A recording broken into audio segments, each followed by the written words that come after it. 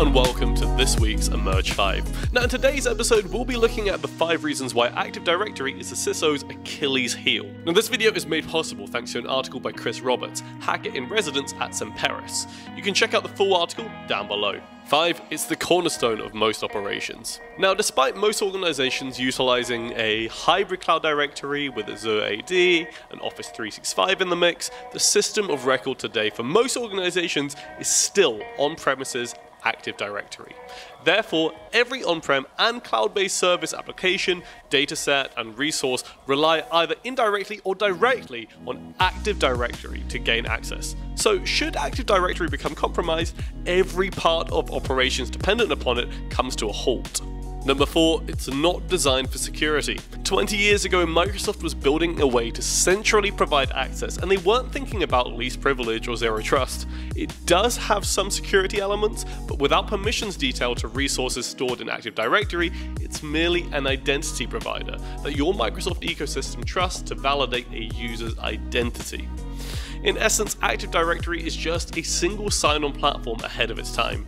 It's not designed to stand up to today's threats, and the threats are coming directly for it. Number 3. It's now a common target for cyber attacks. Virgin Mobile's Active Directory was compromised and its data sold on the dark web. NTT's communications admitted to their Active Directory being compromised as part of a data breach.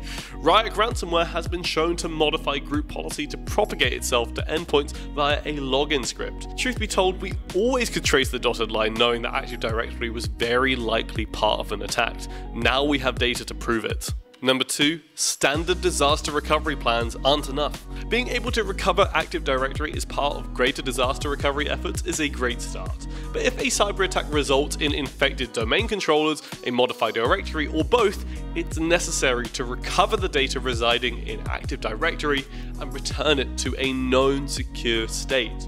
That means a malware-free underlying Windows Server OS and a recovered state of Active Directory from before any malicious modifications. Without addressing these concerns, current disaster recovery plans for Active Directory are little better than a simple blind recovery from backups. Number 1. Protecting Active Directory before, during, and after an attack. The plans above do help with the response efforts, but the remainder of the strategy has little to do with Active Directory specifically, and that's a problem, given the previous four reasons. This goes beyond the traditional monitoring tools, which a growing number of DC Shadow-like attacks can circumvent. Active Directory-centric security tools are required to catch more sophisticated identity attacks that would otherwise leave your SIEM blind. Specific security provisions must be in place to monitor for and prevent unsanctioned changes within the Active Directory itself.